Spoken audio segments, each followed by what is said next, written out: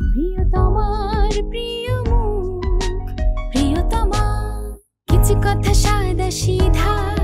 Hello viewers Mumtaz নিম face wash প্রিয়তমার প্রিয় মুখ পাওয়ার্ড বাই জয়া ব্রাইডাল মেহেদি অনুষ্ঠানে আমি তমা মির্জা সবাইকে স্বাগত জানাই। আজকে আমার অনুষ্ঠানে এমন একজন অতিথি হিসেবে এসেছেন, যিনি একাধারে নৃত্যশিল্পী মডেল এবং অভিনেত্রী এবং যার সৌন্দর্য স্নিগ্ধ সৌন্দর্যের প্রশংসায় আমরা সবাই পঞ্চমুখ।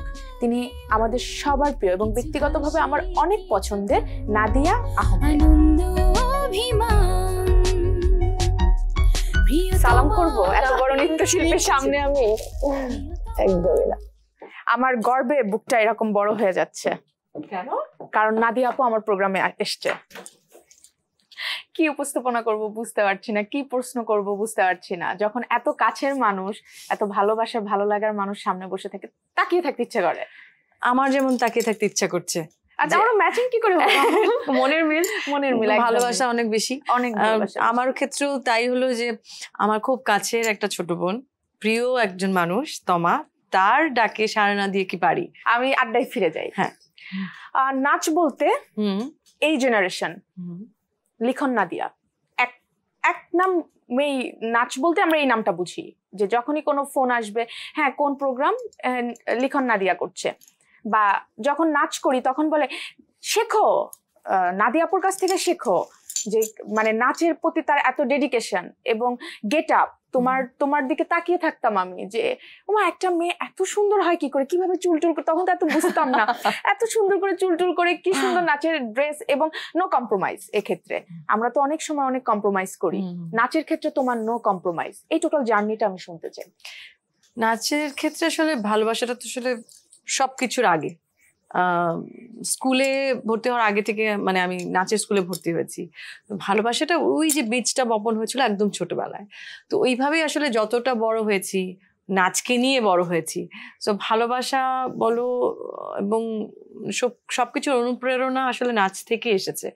আর হয়তো ভালোবাসি বলেই কাজটা করতে ভালোবাসতাম বা হয়তো একটু ভালোও হতো। মানে আসলে আমার যেটা মনে হয় যে, যেই কাজটাই আমরা করি, যদি ভালোবেসে করি, তাহলে হয়তো একটা বলব যে, ওইটার একটা ফিডব্যাক পাওয়া যায় সবার কাছ থেকে। সবাই অনেক হয়তো প্রেজ করতো বা বলতো যে, ভালো হচ্ছে, তুমি আরও ভালো করো বা শেখো। এবং আমি নাচের স্কুলে যেতে ভীষণ ভালোবাসতাম। মানে আমার ক্লাস করতে খুব ভালো লাগতো।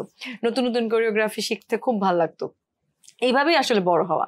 এবং আমার অন্য মাধ্যমে কাজ করা, সেটা অভিনয় বা মডেলিং সমস্ত কিছু ক্ষেত্রে, নাচটাই আসলে বলব যে মানে নাচটার কারণে অন্যগুলো করা। যে মানে একটা পর্যায়ে দেখা গেল যে নতুন করি, নতুন করিতেও নাচের পাশাপাশি অন্য একটা কিছু হচ্ছে অভিনয়। অভিনয় দিলাম এবং অভিনয়ে পুরস্কার পেলাম। ওখান থেকে টেলিভিশনে নাটক করা বা আবার বিজ্ঞাপনের সুযোগ পাওয়া, সমস্ত কিছুই নাচে।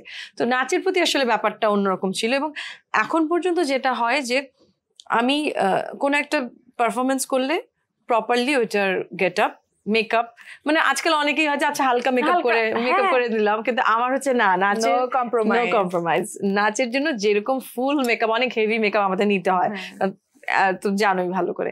সো আমি ওটাও করি। চুল বাঁধতে বাঁধতে আমাদের প্রত্যেক নৃত্যশিল্পীর আমার মনে হয় যে প্রত্যেক পড়ে চুল। পড়ে গেছে একদম চুল নাই। কারণ অনেক বেশি পাফ করতে হয় হ্যাঁ। অনেক বেশি ফুলাতে হয়। কিন্তু তারপরেও যে না ওই নাচের গেট। নিতেই হবে। আগে কি হতো নাচের শিল্পীরাই শুধু নাচের প্রোগ্রামগুলো করতো যারা নাচে পারদর্শী। এখন কি হয় যে সবাই করে কিন্তু দেখা যায় অনেকে একদম নাচের কিছুই জানে না। শুধুমাত্র ফেস ভ্যালুর জন্য সে স্টেজে উঠে যা ইচ্ছা হচ্ছে নাচছে বা চেষ্টা করছে। এটা কি ঠিক? দু হাজার সাল থেকে যখন আমি আবার টেলিভিশনে অভিনয় টুকটাক শুরু করলাম সেটা অন্যতম রিজন ছিল যে অন্য ক্ষেত্রে পরিচিতি না থাকলে আমি শুধু নাচের প্রোগ্রামেও সুযোগ পাচ্ছি না। তো তখন আমার হলো যে যে আমাকে এত বলছে অভিনয় করার জন্য বলছে মডেলিং করার জন্য ঠিক আছে। ওই ইমেজটা যদি আমার নাচের ক্ষেত্রে ব্যবহার করতে পারি আমার ইন্টেনশনটা ছিল ওরকম। যখন আমি ধরো দু হাজার সাল থেকে যখন আমি সোলো পারফরমেন্স করা শুরু করলাম বা আমি লিখনের সাথে পারফর্ম করা শুরু করলাম বা আমরা দুজন জুটি হয়ে গেল একটু একটু করতে করতে প্রথম প্রথম অনেকে বলেছে যে মানে অনেকেই বলেছে যে বা মেয়েটা তো অনেক ভালো নাচে বা আপনি তো ভালো নাচেন কবে থেকে শিখছেন? কিন্তু আমার কিন্তু স্কুলে ভর্তি হওয়ার আগে থেকে আমি নাচ করছি। বা শিশু শিল্পী হিসেবে হয়তো একটা জায়গায় ছিলাম কিন্তু বড় হয়ে অনেকের হয়তো সেই মাথায় নেই। সো আমার ক্ষেত্রেও সেই প্রবলেমটা ফেস করতে হয়েছিল সেই সময়। এখন বলব মানে সেই জিনিসটা কমেনি। এত বেশি নাচ চর্চা করছে এখন আগের থেকে বেশি। কিন্তু ওই ক্রাইসিসটা এখনও রয়ে গেছে। যেটা হয়তো তখন একটা দুটো চ্যানেল ছিল এখন অনেক বেশি চ্যানেল সো আসলে যারা শুধুই নাচ শেখে তাদের যারা অনেক ভালো নাচে তাদের তো একটা জায়গায় পারফর্ম করার সুযোগ থাকতে হবে। তাদের ভেতর একটা ফ্রাস্ট্রেশন কাজ করে এবং চ্যানেলগুলো আমি প্রত্যেককে সম্মান রেখেই বলছি যে চ্যানেলগুলো এমনভাবে কারণ আমাদের শুধুমাত্র বিশেষ দিন ছাড়া নাচের প্রোগ্রাম হয় না। না একদম একদমই না এবং এই হয়তো সাত দিনের অনুষ্ঠান মেলায় একটা নাচের প্রোগ্রাম থাকে। এবং দেখা যায় পাঁচটা নাচ পাঁচটা নাচ মাত্র। এর হ্যাঁ। মধ্যে প্রত্যেকের একটা কারাকারি থাকবেই। থাকবে। তো সেইখানে যারা আসলে এত চর্চা করছে এত মানে যারা ভালো নাচে তাদেরকে যদি আপনারা সুযোগ না দেন তাহলে যদি শুধুই নন ফেস মানে হয়তো একটা মডেলিং করেছে অথবা ডিজে অথবা- সুন্দর হ্যাঁ মানে ব্যাপারটা এমন হ্যাঁ, হয়ে যাচ্ছে কেউ ডিজে কেউ গান গায় কেউ উপস্থাপনা। করে কেউ মুখ করে তাদেরকে দিয়ে পিওর নাচের শো যে ডান্স শো নামে আপনারা তাদেরকে সুযোগ দিচ্ছেন। এবং যারা নাচছে তারা কিন্তু রিহার্সেলও যে টাইম দিচ্ছে তা না। ওই কমপ্লেনটা আবার করছে যে হ্যাঁ, হ্যাঁ রিহার্সেল একদম টাইম দেয়নি হ্যাঁ এবং করেনি। রিহার্সাল করতেও পারছে না না। তারা সময়ও দিচ্ছে না জাস্ট হয়তো নাচটা তুলে কারণ কি জানেন? একটাই কারণ। কারণটা হচ্ছে তাদের ওই ভালোবাসাটা তো নেই। ওই নাচের প্রতি ভালোবাসাটা তো নেই। আজকাল সবাই নাচতে পারে। এই হলুদের প্রোগ্রামে আমরা সবাই নাচতে পারি। তার মানে কি সে নৃত্যশিল্পী? তাহলে যে এত বছর ধরে নাচটা আমি শিখেছি সেটার কোনো মূল্যই থাকল না। ওই আমি হলুদের প্রোগ্রামে নাচি নাচ ইজ ভেরি ইজি ব্যাপারটা এমন। তো তাহলে আসলে ওই ফ্রাস্ট্রেশনটা কোথায় থাকবে? এবং আমি টেলিভিশনে আজকাল অনেক নাচের প্রোগ্রাম কম করি সেটা রিজন একটাই। আমি নন পারফর্মার যারা নন ডান্সার যারা তাদের সাথে পারফর্ম করতে চাই না। আমি প্রত্যেককে সম্মান জানিয়ে বলছি যদি আপনি একটা স্টার নাইট করতে চান ঈদের জন্য দ্যাটস ডিফারেন্ট ডিফারেন্ট ভাবে করেন। সব স্টাররা নাচবে যা ভালো লাগে যা ভালো লাগে কিন্তু হ্যাঁ। একটা নাচের প্রোগ্রাম করবেন। যারা নৃত্যশিল্পী তাদেরকে দিয়ে করান। গানের অনুষ্ঠানে তো আপনি যে কোনো কাউকে দিয়ে গান গাওয়াচ্ছেন না। হ্যাঁ তো তাহলে কেন নাচের ক্ষেত্রে এটা? এবং এই কারণে বা- মানুষজন মনে করে বাংলাদেশের নাচটা এখন ইমপ্রুভ করেনি কিন্তু কথাটা একদমই ভুল। কারণ স্টেজ পারফরমেন্স দেখলে বোঝা যায় যে বাংলাদেশের নাচ কতটা রিচ হয়ে গেছে। কারণ আমরা টেলিভিশনে যাদেরকে সুযোগ দিচ্ছি তারা নাচতেই পারেন না। তারা শুধুমাত্র জাস্ট যে হেঁটে গেলেন একটু খালি ওই ফিল্মি স্টাইলে নাচলেন তাই নাচ হয়ে গেল না।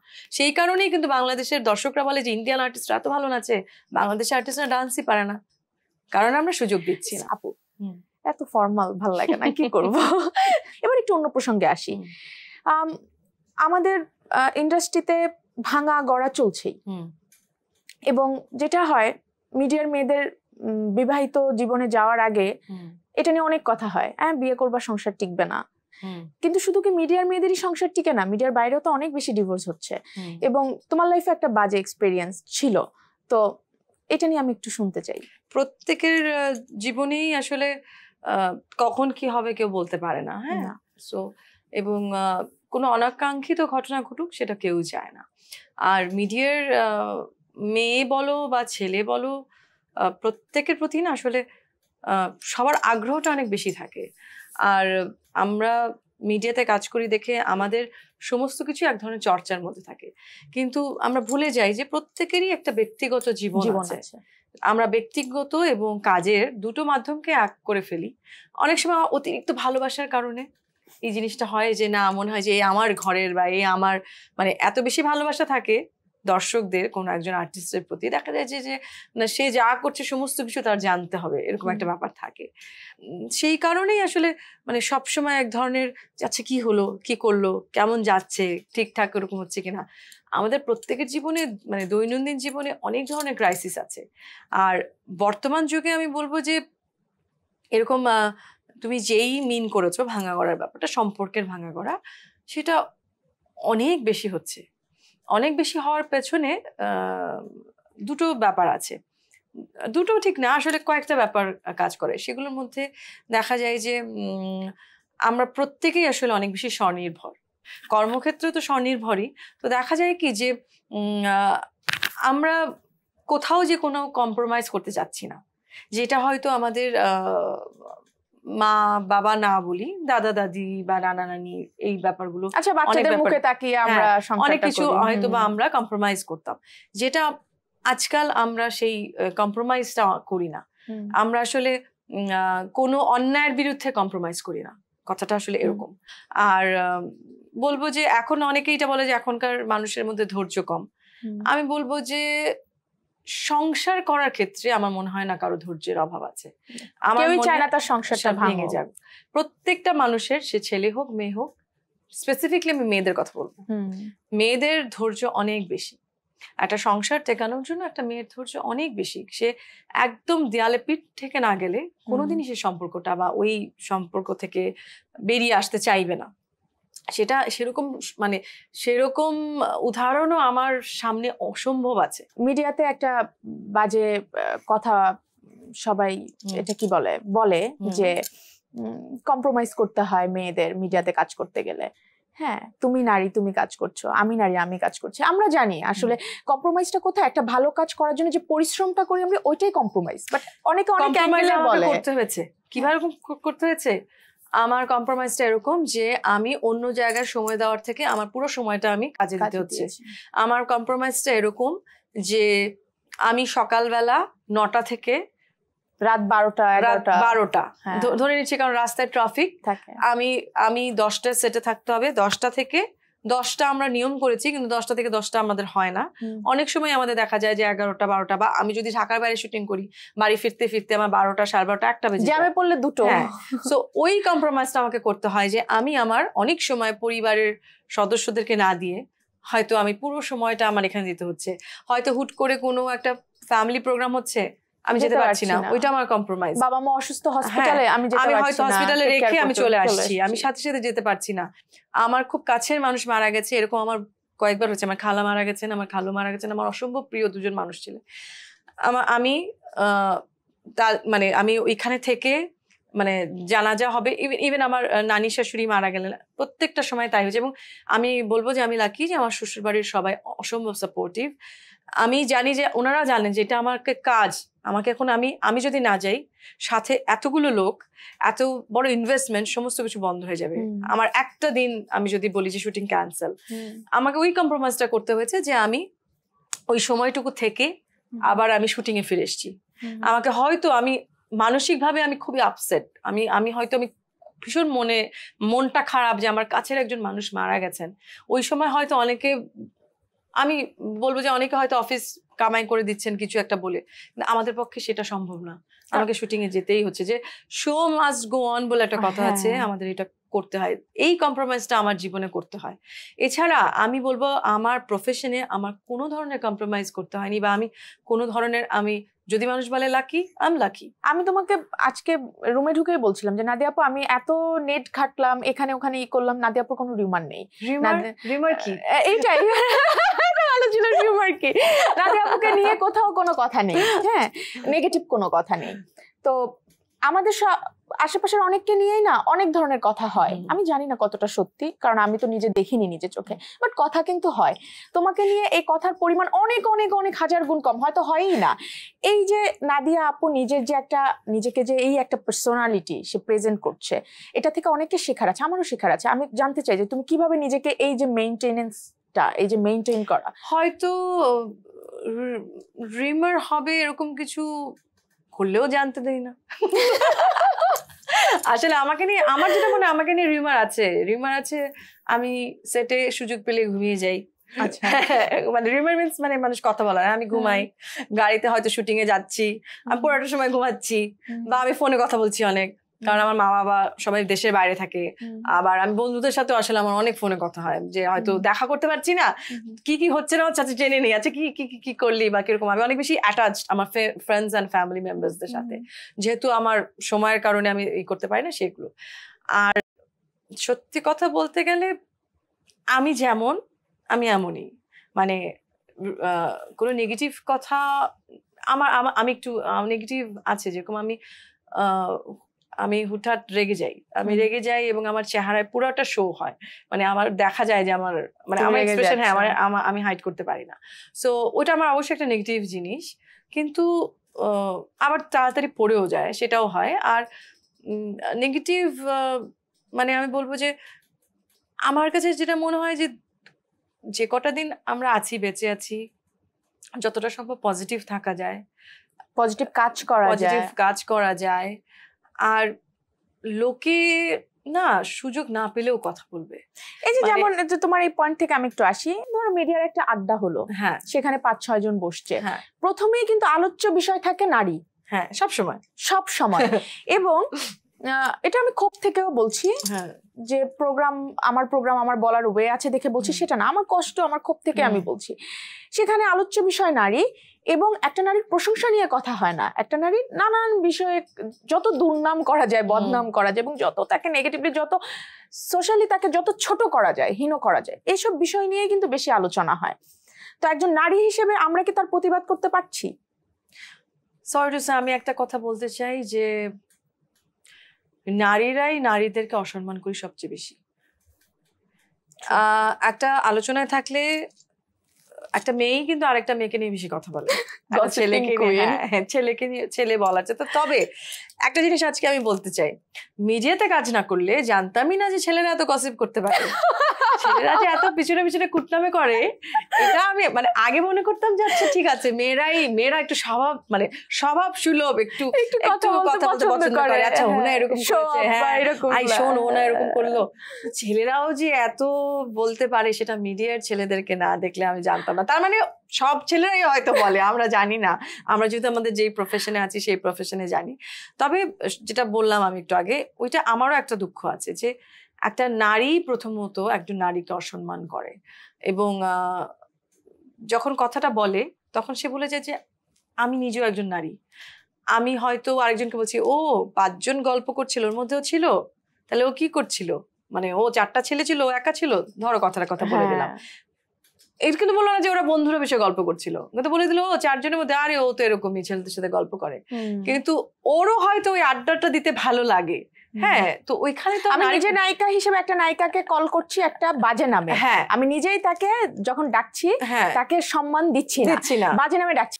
ধরো একটা মেয়ে হিসেবে যদি কোনো একজন মেয়ের কথাই বলি সেই মেয়েটার যে কতখানি বলব যে ডেডিকেশন এবং কত কিছু ম্যানেজ করে ওকে অফিসে আসতে হয় একটা নারীকে বাড়ি থেকে বের হওয়ার পর মানে বের হওয়ার আগে যদি সে ম্যারিড হয়ে থাকে তাকে কিন্তু বাড়ির সমস্ত কিছু অর্গানাইজ করে দিয়ে তারপরে অফিসে আসতে হয়। এবং অফিসে আসার পরেও দেখা যায় যে হয়তো বাড়ি থেকে ফোন আসে এটা কি হবে ওটা কি হবে বাচ্চা থাকলে বাচ্চার স্কুলে গেল কিনা অমুক হলো কিনা সমস্ত কিছু মেনটেন করে অফিসের কাজ আবার হয়তো কখনো কখনো বাড়িতে এসেও কাজ করতে হচ্ছে। এরকমও হয়। সো অনেক বেশি বলব যে ডেডিকেশন হার্ডওয়ার্কিং এবং বলব যে স্যাক্রিফাইস থাকে। তারপরেও আমরা কিন্তু ওই জিনিসগুলো ওভারলুক করি। আমরা বলে ফেলি যে আচ্ছা এত প্রমোশন হচ্ছে। ও আচ্ছা কারোর সাথে খুব ভালো রিলেশন আছে। কোনো কারণে হচ্ছে? মানে ফট করে একটা মুখের কথা বলে দেই। Like আজকে তুমি একটা সুন্দর শাড়ি পরেছো। যদি হ্যাঁ। বিবাহিত না হতে হয়তো পাশের কেউ বলতো যে কে গিফট করেছে? ওটা তো আছে যে কে গিফট করে? গিফটের কথায় আসব গাড়ি গিফট বিয়েতে। এই ঘটনাটা কি? আমি না যখন নিউজটা পড়েছি না আমার খুব জানার ইচ্ছা ছিল যে আমি নাদিয়া আপুকে ফোন দিয়ে জিজ্ঞাসা করব। আসলে আসল ঘটনা কি কারণ আমরা তো আমরা অতিরঞ্জিত ভাবে আসে ব্যাপারটা হ্যাঁ। যেটা হচ্ছে যে নাইমের গাড়ি প্রীতি আছে। হ্যাঁ প্রীতি আসলে আমাদের প্রত্যেকেরই অনেক ধরনের আছে অনেক কিছু পারফিউম পছন্দ হ্যাঁ, করে কেউ তো ওর গাড়ি পছন্দ ভীষণ ভালোবাসে। তো বিয়ের সময়ই এরকম আমাদের ঠিক যখন বিয়ে এরকম হুটহাট করি আসলে বিয়েটা হলো।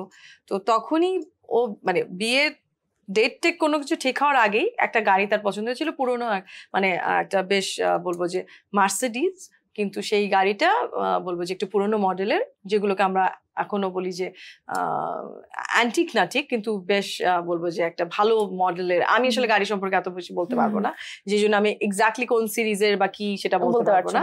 হ্যাঁ কিন্তু আহ, ওই সময় ও একটা গাড়ির সন্ধান পেয়ে যায় যে এরকম একটা গাড়ি কেউ একজন বিক্রি করবে। গাড়িটা কিনবে। এবং আমার হঠাৎ করে বিয়েও ঠিক হয়ে গেল। তো এখন আচ্ছা বিয়ে এখন আমার গাড়িটা নিবে মানে সবকিছু মিলে। তখন মানে আমার শ্বশুর উনি বললেন যে ঠিক আছে গাড়িটা আমি কিনে দিচ্ছি তোমরা বিয়ে করো তোমাদেরকে বিয়ে দিয়ে দিচ্ছি আর গাড়িটা আমি কিনে দিচ্ছি। সো ব্যাপারটা একই সাথে হওয়াতে এবং গাড়িটা হ্যাঁ হ্যাঁ। গাড়িটা তোমার তুমি নতুন বউ তোমার জন্য গাড়িটা। সো ব্যাপারটা তখন হলো যে বিয়েতে গাড়ি গিফট হলো বা ওরকম। বাট মানে গাড়িটা অবশ্যই মানে গাড়িটা একটা গাড়ির রাজকীয় মানে গাড়ির ঘটনা সত্যি কিন্তু যেভাবে এসছে ওটা হ্যাঁ। সত্যি না আসলে। এই যে বললে হুটহাট করে বিয়ে আসলে কি হুটহাট করে বিয়ে নাকি? খুবই হুটহাট করে বিয়ে মানে কিন্তু অনেকে তো বলে যে প্রেমের বিয়ে। প্রেম করার সুযোগই পাই নাই। মানে সত্যি কথা বলতে গেলে ডিসেম্বরের পঁচিশ তারিখে মোটামুটি মানে আমার মা তখন মাত্র আমেরিকা থেকে আসছে। আসার পরেই ফাইনালি একটা কথা হলো যে ওদের বিয়ে দিব। হ্যাঁ এরকম। যে পঁচিশে ডিসেম্বর হয়েছে আর যা এর মাঝখানে প্রতিদিন শুটিং ছিল। সো তখন ইভেন ছাব্বিশ তারিখেই শুটিং ছিল আমার আর নাইমে দুজনের আমরা একটা সিরিয়াল করছিলাম তখন। কিন্তু সেটে যেতে কিছু বলতে পারছি না। দুজনেই জানে যে কদিন পরে বিয়ে। হ্যাঁ হ্যাঁ। আল্লাহ এই ছাব্বিশ তারিখে তারিখটাও তোমরা ভালো করছ। ছাব্বিশ তারিখে আমাদের শুটিং ছিল। হ্যাঁ। দুজনের একসাথে আমরা ওখানে হাজবেন্ড ওয়াইফ দুজন হাজবেন্ড ওয়াইফ পঁচিশ তারিখে কথা হলো যে এরকম আমরা বিয়ে হবে ফেব্রুয়ারি মাসে। আর আমার বোন আসবে আমেরিকা থেকে সো ওরকম। তো সবকিছু ঠিক, তো এর মধ্যে যেটা হলো যে আমার বোন আসার পর আমেরিকা থেকে আমরা তিনজনের আগেই প্ল্যান করা ছিল আমি, আমার আম্মা এবং আমার বোন, আমরা তিনজন কলকাতা যাব বেড়াতে। তো আমরা যখন কলকাতায় যাচ্ছি মানে সেদিন আমার শ্বশুর বলছেন যে আপনারা আসার পরে বিয়ে দিয়ে দিব। কারণ হলো ওই নন্দিতা তো থাকবে না। নন্দিতা বেশি দিন চলছে যদি বিয়েটা আগে আগে দিয়ে দিই তাহলে পরে যে ফর্মালিটিসগুলো আছে বিয়ে পরবর্তী এই দাওয়া দুই দাওয়া সবগুলো নন্দিতা খেয়ে যেতে পারবে। তাহলে ওইভাবে হুট করে বিয়ে- তা আমি বললাম যে হুট করে তো কোথায় ভেনু কারণ জানুয়ারি মাসে যে- মানে এক বছর আগে থেকে সবাই একদম ওই সময় বিয়ের মৌসুম। মোর- বিয়ের মরশুম কোথাও পাওয়া যাবে না। এবং মানে এমন হলো তখন ফোনে ফোনে আলাপ যে না আচ্ছা আমরা ভেনু দেখছি একটাই প্রোগ্রাম হবে আমরা ওইভাবে দেখছি যে কোথায় কি পাওয়া যায় বা কি। তারপরে মানে আমরা বোধহয় কলকাতা থেকে আসার দুদিন পরেই আমার হলুদ হলো ঘরে জাস্ট একটা ঘরোয়া ভাবে আহ, আহ, আমার আমার খুব বেশি হলে বোধহয় পনেরো জনের মতন ছিল এরকম এক আহ, কিন্তু ওদের বাড়িতে তখন ফোন করেছে আপনাদের বাড়িতে হলুদ করছেন আমরা আসব। তো ওর খুব কাছে মানে ক্লোজ মানে মামাতো ভাই বোন বা ফুফাতো ভাই বোনের কয়েকজন এসেছিল। তো সব মিলিয়ে বিশ পঁচিশ জনের বেশি হবে না। তারপরের দিন ওর হলুদ আর হয়নি নিজেরা নিজেরা করেছে আমরা যাইনি। আর বিয়েটা হলো আমার মামার বাসায়। মানে হুটহাট হুটহাট এবং যেহেতু শুনেছি যে বিয়ে হবে একটা এইসবের মধ্যে তখন এবং আমি আমার শপিং সব এখান থেকে করা। মানে কারণ আমি তো আসলে সময় পাইনি। মানে ওই যে ইন্ডিয়াতে তো আসলে শপিং পারপাসে যাওয়া না। এবং তখন এই ছিল যে খালি খাব। খালি ঘুরবো এবং খাব। এবং একদিনে লাঞ্চই বোধ হয় তিনটা রেস্টুরেন্টে করতে হয়েছে। কারণ আমার বোনের খেতে হবে। এই রেস্টুরেন্টে খেতে হবে, এই রেস্টুরেন্টে খেতে হবে, এই রেস্টুরেন্টে খেতে হবে। এরকম একটা চেক লিস্ট করে নিয়ে আসছিল। তো যাই হোক, তো ওই আমার আর তারপরে আমাদের গুলশান ক্লাবে আমাদের একটা রিসেপশন হলো। তাও যে খুব অনেক ঘটা করে করেছ সেটা না আমি দাওয়াত পাইনি যাই হ্যাঁ। হোক এই জন্য আমি আজকে বিয়ে নিয়ে অনেক কোশ্চেন করব। ঠিক আছে। সেটা তো আমার বিয়েতে আমরা পুষিয়ে দিব। আমার বিয়েতে খেয়ে পুষিয়ে দিবে। এই যে তুমি বললে যে না তোমাদের প্রেমের বিয়ে না কিন্তু ভালো লাগাও কি কখনো কাজ করেনি? ভালো লাগা মানে মানে ওই ভালো লাগা আর্টিস্ট হিসেবে না? ওরকম ভালো আমাদের আসলে কাজটা আমি সত্যি কথা বলতে গেলে নাইমের সাথে আমি একটা কাজ করেছিলাম সম্ভবত দু হাজার তেরো এরকম একটা হবে, একটা সিঙ্গেল নাটক করেছিলাম। তারপর দু হাজার চোদ্দোতে এসে আরেকটা সিঙ্গেল নাটক করেছি। ওর সাথে আসলে আমার কাজটা শুরুই হয় দু হাজার পনেরোতে। সো অনেক বেশি জানাশোনার ব্যাপারটা ছিল না। ওর সাথে আমার খালি বাইরে দেখা হতো।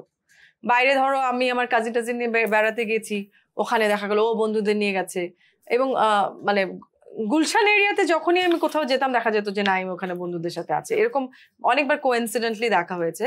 কিন্তু ভালো লাগাটা আসলে সত্যিকার অর্থে গেলে বলতে গেলে বলব যে দু হাজার পনেরোতে যখন আমরা দুটা সিরিয়াল কোইন্সিডেন্স তোমাদের কি করে হয়? আমার তো সবার সাথে সবসময় দেখা হয় না। এটা দেখা সেটাই পরে মিলিয়েছি।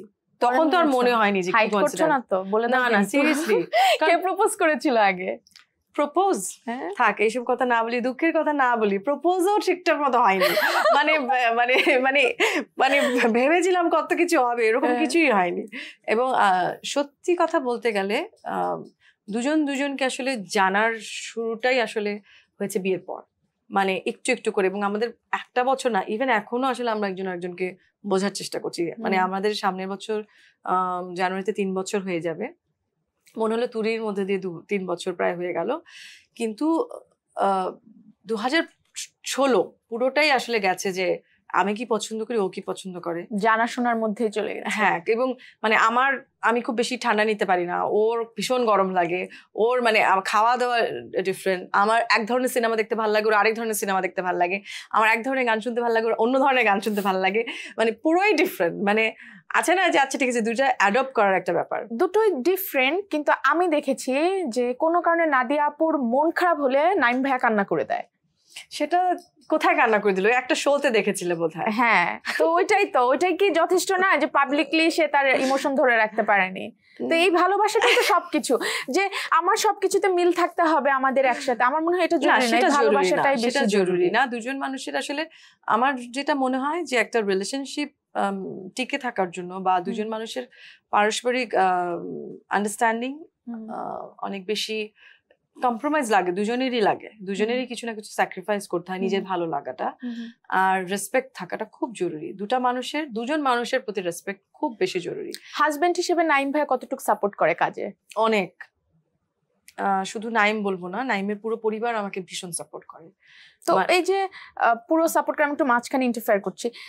যে ধরো তোমার তোমার তুমি কিন্তু রোমান্টিক বা ওই ধরনের নাটক একটু কম করো। হ্যাঁ ধারাবাহিকটা করো বা স্টোরি বেস করে। এবং নাইম ভাই অপোজিট রোমান্টিক নাটকে বেশি। হ্যাঁ এবং মিউজিক ভিডিওতে আমি দেখলাম হ্যাঁ, আরেকটা হ্যাঁ। মডেলের কাজ করেছে। খুব কিন্তু রোম্যান্স চলে। কেমন লাগে? কিছু লাগে না। কিছু লাগে না? আমার মনে হয় কি তোমার রোমান্সটা হয় না আর একটু বেশি করলে ভালো হতো। ইয়াল্লাহ বিশ্বাস করো এরপরে নাইম যদি আসে জিজ্ঞেস করো। আমি নাইম বলি নাইম এই জায়গাটাতে আরেকটু রোমান্টিক ভাবে ধরলে ভালো হতো মানে আরেকটু। সত্যি আমার কাছে মনে হয় যে আমার কোথাও না কোথাও যে মনে হয় যে ও বোধহয় একটু লজ্জা পাচ্ছে একটু হেজিটেট করছে। আসলে ব্যক্তি জীবনেও ও এমনই মানে ব্যক্তি জীবনে একটু মানে আছে না। ইমোশন হ্যাঁ ইমোশনস অনেক বেশি শো করতে ইয়ে পায় না মানে অনেক বেশি শো করতে পারে না। বা মানে সবার সামনে হয়তো একদম হাত ধরে দাঁড়িয়ে আছে। মানে দেখা যায় যে আমাদের দুজনের এরকম হয় অনেক সময় যে ছবি তুলছি অনেকে বলে যে আপনারা তো হাজবেন্ড ওয়াইফ একটু ভাবে ছবি তুলেন। ধরে ছবি তুলেন। সো ওইটা আমি ওকে বলি যে তুমি আমার মনে হয় হয়তো মাথায় থাকে যে আমি দেখলে কি মনে করব। নাইমের সাথে তো তোমার অভিনয় করার অভিজ্ঞতা আছে। মেরেছে রে। ওটা তোমার মনে আছে?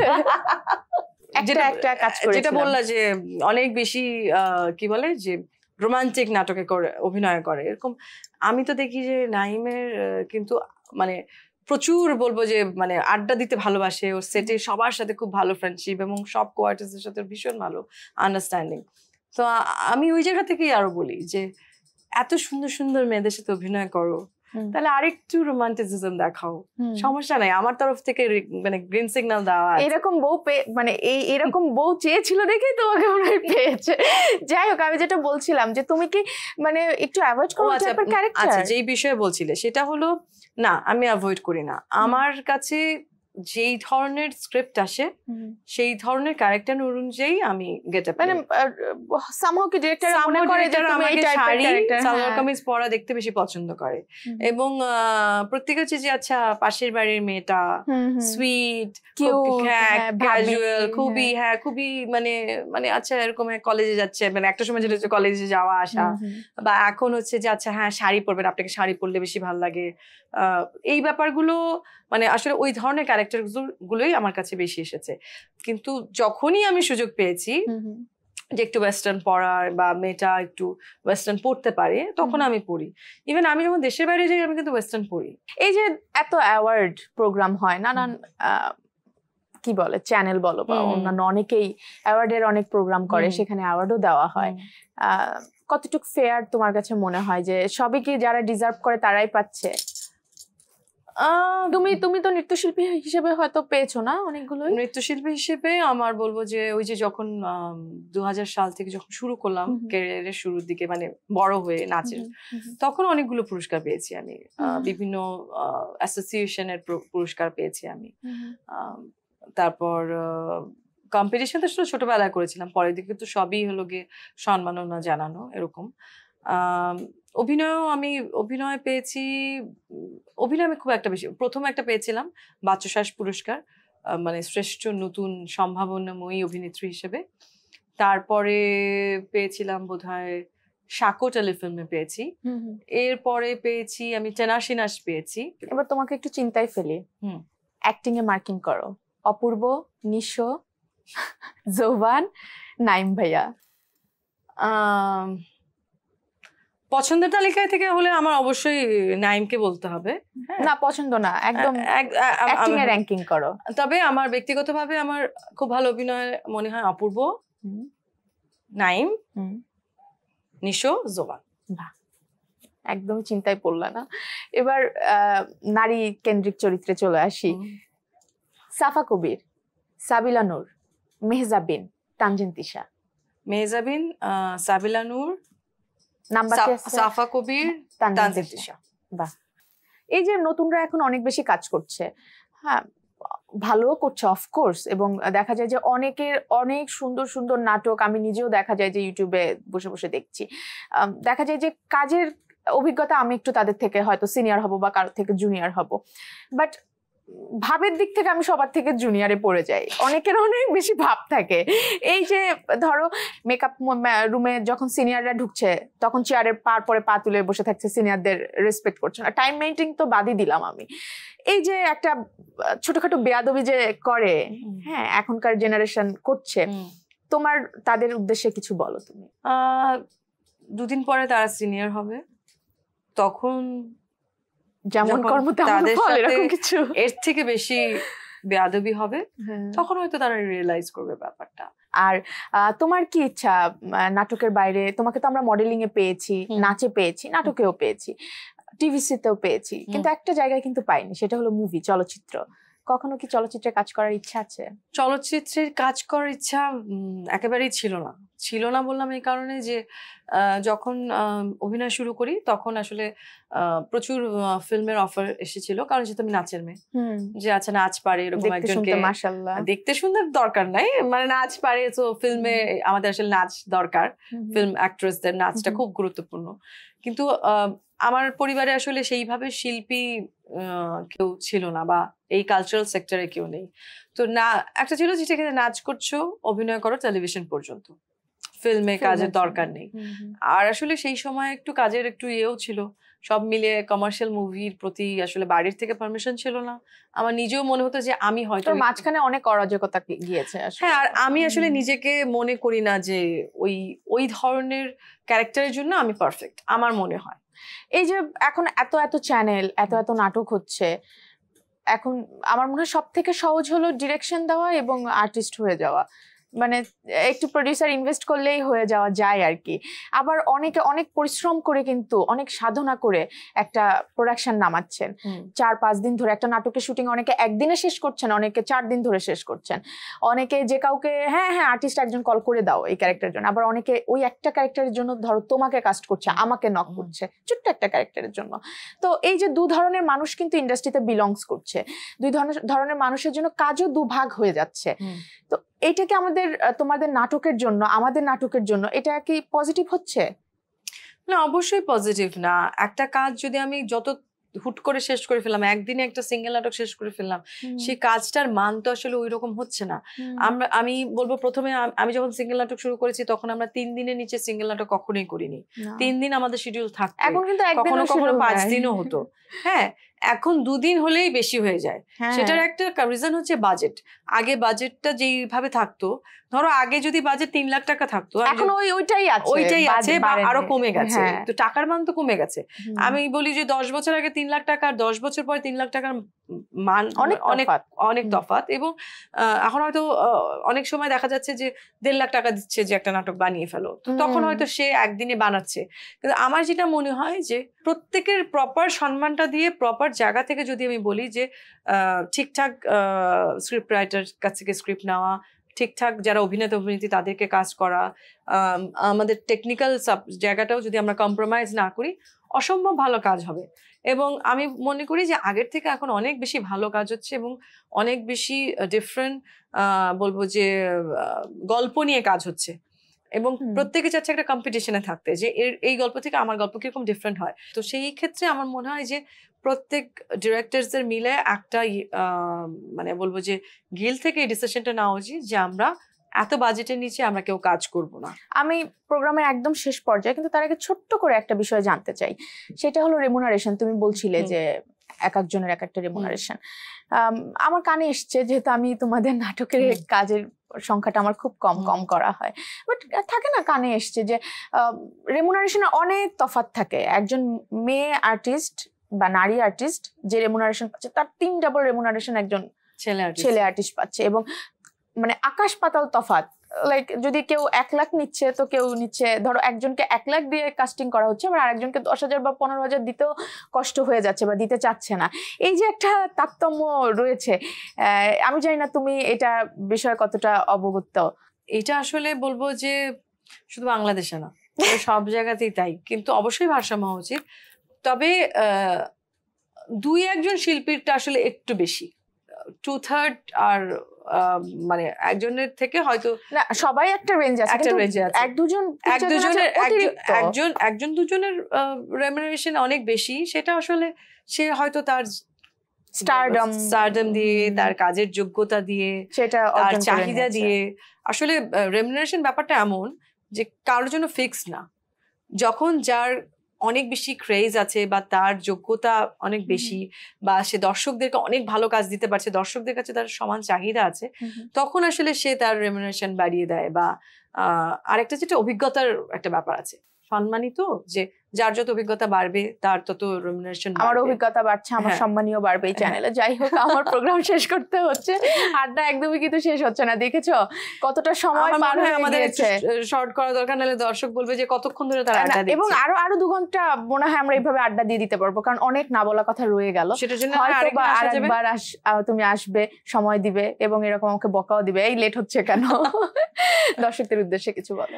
আহ, দর্শকদের উদ্দেশ্যে এই কথাটাই বলতে চাই যে, আমরা প্রত্যেকেই আসলে প্রত্যেকের জায়গা থেকে আপনাদের জন্য অনেক চেষ্টা করে যাচ্ছি ভালো ভালো কাজ নিয়ে আসতে। সেটা প্রত্যেক জায়গা থেকে। যেমন আজকের এই অনুষ্ঠানটা আমি বলব যে, দর্শকদের জন্য নিশ্চয়ই আপনাদের জন্য অনেক ভালো লেগেছে। আমার আড্ডা দিয়ে ভীষণ ভালো লেগেছে এবং আমাদের দুজনের আড্ডা থেকে নিশ্চয়ই আপনারা অনেক অনেক মজার মজার তথ্য পেয়েছেন। আপনারা ভালো থাকবেন আমাদের সঙ্গেই থাকবেন এবং বাংলাদেশের চ্যানেলের প্রোগ্রামগুলো দেখবেন। প্রিয় দর্শক আশা করি আমাদের এই আড্ডা আপনাদের অনেক বেশি ভালো লেগেছে। বিদায় নিচ্ছি। আমাদের আজকের মমতাজ নিম ফেস ওয়াশ প্রিয়তমার প্রিয় মুখ পাওয়ার বাই জয়া ব্রাইডাল মেহেদি অনুষ্ঠান থেকে। দেখা হবে আগামী সপ্তাহে আরও কোনো অতিথিকে সাথে নিয়ে। আর এই অনুষ্ঠানটির আপডেট পেতে যুক্ত হতে পারেন আমাদের ফেসবুক স্ল্যাশ অপরাজয়া এই পেজে সবাই ভালো থাকবেন সুস্থ থাকবেন এবং অবশ্যই দেশটির সাথে প্রিয়তমার প্রিয় মুখ প্রিয়তমা কিছু কথা সাদা সিধা। জীবন সুতোয় বাঁধা। কিছু কথা থাকে উন্মুখ কিছু হাসি কিছু গান। আনন্দ অভিমান।